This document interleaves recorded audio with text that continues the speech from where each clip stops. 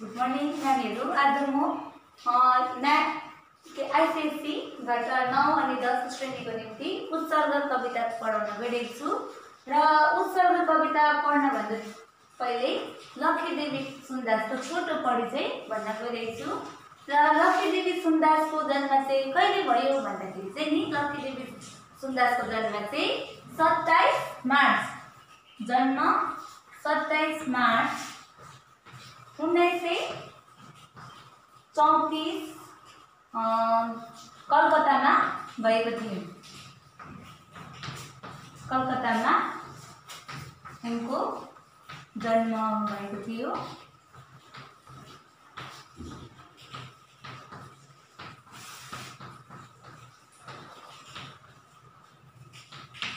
उनको जन्म चाहिँ कहिले भयो भन्दाखेरि सत्ताइस मार्च उन्नाइस सय चौतिस कलकत्तामा भएको थियो। र उनले चाहिँ दार्जिलिङमा दार्जिलिङमा आएर चाहिँ दार्जिलिङको सार्देश्वरी विद्यालयबाट चाहिँ म्याट्रिक पास पास गरे। त्यस पश्चात उसले के गरिन् भन्दाखेरि कलकत्तामा ए के अरे दार्जिलिङकै सरकारी कलेजबाट चाहिँ बिए पास गरिन्। अनि बि बिए पास गरे पश्चात कलकत्ता विद्यालयबाट महाविद्यालयबाट कलकत्ताको महाविद्यालयबाट चाहिँ उनले एमए र एल पास गरिन्। त्यस पश्चात ने नेपालको जुन त्रिभुवन विश्वविद्यालयबाट चाहिँ विधावरिदी विधावरिदी भनेको चाहिँ के हो भन्दाखेरि नि विधावरिदी भनेको चाहिँ डक्टरेट डक्टर विधावरिदी भनेको चाहिँ डक्टरेट हुन्छ नि पिएचडी गर्छ नि डक्टर पास गर्छ नि पिएचडी त्यसलाई चाहिँ के भनिन्छ भने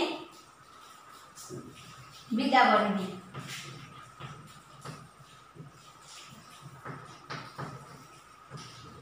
पिएचडी को चाहिँ के हो उपाधि।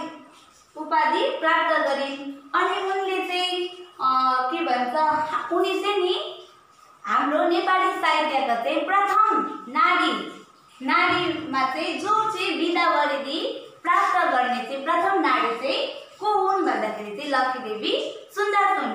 उनले चाहिँ सानैदेखि नै अब सानैदेखि नै र विद्यार्थी छँदादेखि नै उनले कथा कविताहरू लेख्न सुरु गरेका थिए र उनको कविताहरू चाहिँ गोर्खा गोर्खा साथीमा चाहिँ गोर्खा साथी पत्रिकामा चाहिँ प्रकाशित भएका थिए। पत्रिकाहरूमा चाहिँ प्रकाशित भएका थिए। अनि उनको चाहिँ अर्को के भन्दाखेरि चाहिँ नि उनले जब साहित्य लेखन सुरु गरे नि उनको प्रथम कविता नै के थियो भन्दाखेरि उनको प्रथम कविता चाहिँ दीपक। दीपक प्रथम कविता। उनको प्रथम कविता चाहिँ दीपक। दीपक कविता लेखेर नै उनले नेपाली साहित्यको साहित्य यात्रा प्रारम्भ गरेका हुन्। र उनको उनले अ, आहत अनुभूति भन्नेमा चाहिँ त्रिभुवन पुरस्कारले त्रिभुवन अरे आठ अ, एकाडमी पुरस्कारले प्राप्त आहत अनुभूति। आहत आहत अनुभूति जो चाहिँ कविता ए, कथा सङ्ग्रह कथा सङ्ग्रह यसमा चाहिँ यसमा चाहिँ उनले एकाडमी उनी एकाडमी पुरस्कारले प्राप्त गरेका एकाडमी एकाडमी पुरस्कार। पुरस्कारले सम्मानित भएको थियो। अनि त्यति मात्र नभएर उनले प्रज्ञा ए के अरे रत्नश्री सुवर्ण पदक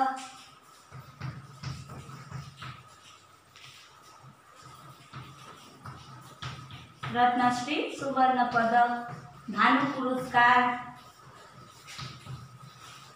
भानु पुरस्कार।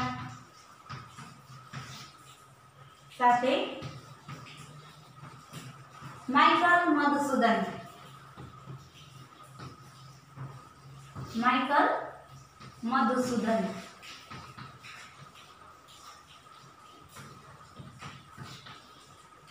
Michael Madhusudan Dutt अन्तर्राष्ट्रिय पुरस्कारले पनि सम्मानित गरिएको थियो र उनको चाहिँ प्रकाशित कृतिहरू चाहिँ यस प्रकार छन्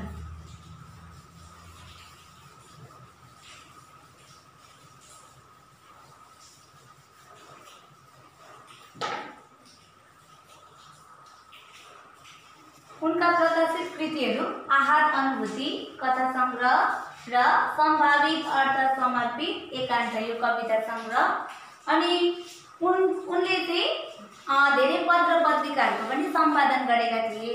हो अनि साथै उनको प्रतिभाशाली उनी चाहिँ नेपाली साहित्यमा चाहिँ उनी प्रतिभाशाली नारीका रूप बहुमुखी प्रतिभाशाली नारी लेखिकाको रूपमा परिचित छिन्।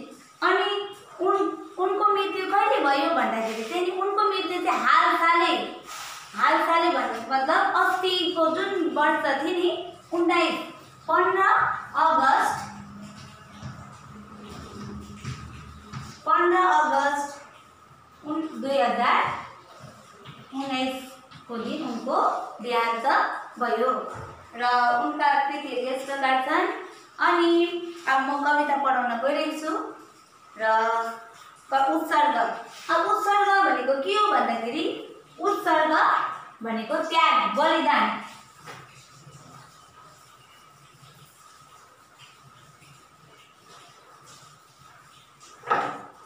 उत्सर्ग भनेको त्याग। र यहाँ कविमा यो यस कवितामा चाहिँ कवियत्री लक्ष्मीदेवी सुन्दासले चाहिँ के भनेका छन् भन्दाखेरि चाहिँ नि उनले चाहिँ अ, सैनिकलाई चाहिँ आह्वान गरेका छन् उत्सर्ग गर त्याग गर बलिदान गर बलिदान देऊ भनेर उनले आह्वान गरेका छन् गरेकी छिन् र अब म एकपल्ट सर पढ्छु एकपल्ट तिमीहरूलाई। तिमीले गरेको उत्सर्ग यहाँ यी कन्दराहरूले देख्नेछ रगत पसिना एक गराए पहाडहरूको पर्खाल बनाए अन्जुले आफ्नै मासपिण्डको कथा इतिहासले साट्नेछ देखोस् नदेखोस् यो वर्तमान भावी पिँढीले देख्नेछ नभन तिम्रो उत्सर्ग यहाँ जङ्गली फुलहरू चाहिँ मर्नेछ नभन तिम्रो सिद्धिएको आयु मूल्यविहीन नै चुक्नेछ हिसाब किताब यो यस युगमा चुक्ला एक मूल्य एकको चिसा उद्धारको ठाउँ छैन कहीँ कसैले छदम भेषमा तिम्रो इतिहास लेखेछ। तिम्रो सिद्धिको आयु आयु एक एक मूल्य चुक्दैछ। यसैले नहार नहार नभाग उत्सर्ग गर उत्सर्ग गर। तिमी जीर्ण जीर्ण खिँदै जाऊ मकिँदै जाऊ मकिँदै जाऊ। सिपाही, प्रहरी, मजदुर देशको नसोच यो उपलब्धि कम हो। मृत्युपछि पनि शहीद उपाधि तकमा सम्मान पत्र पनि। पाउँछौ वीरत्वको अमित छाप। तिमी देश रत्न, कर्मठ वीर, आदर्श त्यागका प्रतिमूर्ति नै। चाहिएन परिवार जहान आफ्ना। वसुदैव कुटुम्ब, कुटुम्बकम मन्त्रली। रगत पसिना एक गराई गौरव देशको तिमी बना। उत्सर्ग गर उत्सर्ग गर तिम्रो छातीका टलकदर ब्याज तिमी कल्कीदार टोपी पालिसदार पालिसदार बुटपट्टि तिम्रो शानका जजल जजल्य प्रतीक। तिम्रा शानका पढे खेलाए तिम्रो शानको हिराए बसाए तिम्रो मृत्यु कहिले छैन?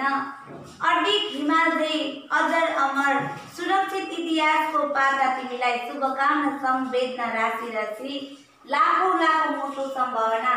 तिमी होमिन्दा युग वेदीमा प्रार्थना ऋचा वेदका ध्वनिहरू यसैले तिम्रो त्याग तिम्रो बलिदान नगन्य होइन नचुक्ने होइन गौरव देशको भन्दै आए। भन्दै आए उत्सर्ग गर उत्सर्ग कवि यात्रीले चाहिँ के भनेकी छिन् भन्दाखेरि चाहिँ तिमी के गर? उत्सर्ग गर। तिमीले गरेको उत्सर्ग चाहिँ कसले देख्ने छ भन्दाखेरि कन्दाराहरूले जो कन्दारा चाहिँ के हो? कन्दारा भनेको के हो भन्दाखेरि गुफा। गुफा ओडारहरूले चाहिँ तिम्रो तिमीले गरेको बलिदान चाहिँ देख्नेछ देख्नेछ तिमीले जुन तिम्रै शरीरको हड्डीहरू पर्खाल बनाएर बनाएछौ खुन पसिना बगाएछौ बगाएछौ त्यो चाहिँ के जाने छैन? खेर जाने छैन। र इतिहासले साट्नेछ इतिहासले तिम्रो के साट्नेछ उत्सर्ग त्याग बलिदान गरेको साट्नेछ तर अहिले अहिले जुन वर्तमान अहिले मानिसहरूले तिमीहरूलाई देशवासीहरूले देखोस् नदेखोस् तर भावी पिँढीले भनेको भविष्यमा तिम्रो के हुनेछ इतिहास बन्नेछ त्यसैले तिमी के गर उत्सर्ग गर भनेर कविले कवियत्रीले भनेकी छिन्। र नभन तिम्रो उत्सर्ग यहाँ जङ्गली फुल चाहिँ मर्नेछ नभन तिम्रो सिद्धिएको आयु मूल्य बिनै चुक्नेछ नभन तिमी नभन कि मेरो जुन जङ्गली फुलहरूको के हुन्छ प्रशंसायोग्य हुन्छ जङ्गली फुल ओएर मरिजान्छ होइन? कसैले वास्तै गर्दैन तर तिम्रो मृत्यु चाहिँ जङ्गली फुलहरू जस्तै हुने छैन के हुनेछ? योग्य प्रशंसा योग्य हुनेछ तिम्रो बलिदानको। त्यसै तिम्रो त्यो आयु चाहिँ के हुने छैन सिद्धिएर जाने छैन मूल्यविहीन हुँदैन। मूल्यविहीनै तिम्रो त्यसै चुकेर जाँदैन। र हिसाब किताब यस यस युगमा जसले जस्तो गरेको छ उसले हिसाब पाउँछै पाउँछ र तिमी चाहिँ तिम्रो चुकलाई यो एक मृत्यु चाहिँ के हुनेछ तिम्रो हिसाब किताब गरिनेछ। र तिम्रो छदम छदम भेषमा तिम्रो इतिहास लेख्दैछ कसैले अब छदम भेष भनेको नक्कली हुन्छ नि? आफ्नो स्वरूप आफ्नो स्वरूप नदेखाएर के अरे नक्कली वेशभूषाले पनि तिम्रो के गर्दैछ? बसेर स्वरूप देखाएर चाहिँ तिम्रो के गर्दैछ? इतिहास लेख्दैछ। र तिम्रो सिद्धिएको आयु एक मूल्य चुक्दैछ। तिम्रो के अरे जुन तिमीले बलिदान त्याग गरेको छौ त्यो त्यसै खेर जाँदैन। तिम्रो इतिहास लेखिँदैछ तिमी शत्रुहरूदेखि पराजित भएर निराशा नहौ नभाग नहार नमान। किनभने तिम्रो के हुँदैछ? तिमीले गरेको त्यागको बलिदानको के हुँदैछ? इतिहास लेखिँदैछ तिमी जीर्ण जीर्ण खिँदैछौ बरुभन्दा। जीर्ण भनेको पुरानो थोत्रो जीर्ण पुरानो। जीर्ण भनेको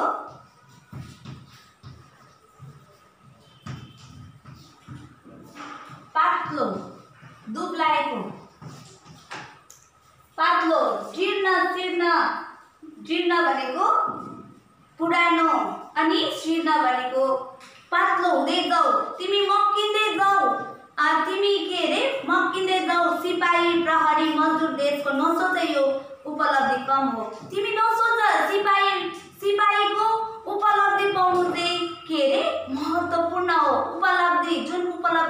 गर्नु होइन?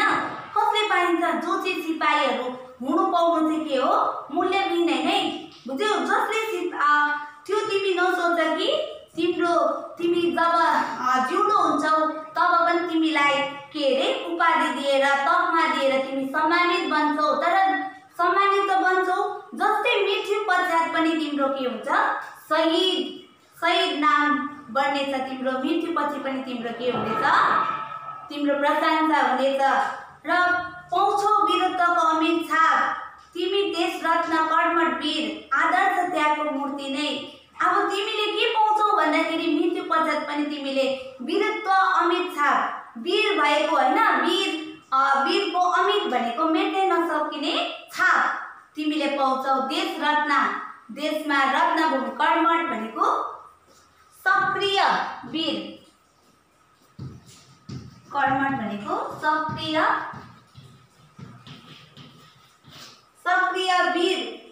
पाउँछौ र आदर्श त्यागको मूर्ति मूर्ति प्रतिमूर्ति भनेको प्रतीक।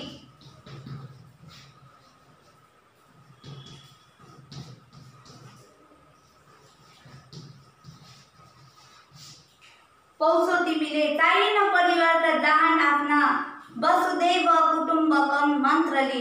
भन्नुको मतलब अब तिमीले चाहिँ तिम्रो परिवारलाई चाहिएन के मन्त्र लिऊ भन्दाखेरि वसुदैव कुटुम्बकम भनेको चाहिँ के भन्दाखेरि यो तिमी यो संसार नै मेरो परिवार हो।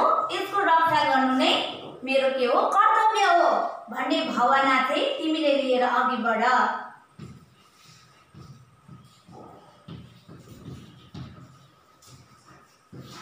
के लिएर अघि बढ भन्दैछ भन्दाखेरि वसु दैव कुटुम्बकम।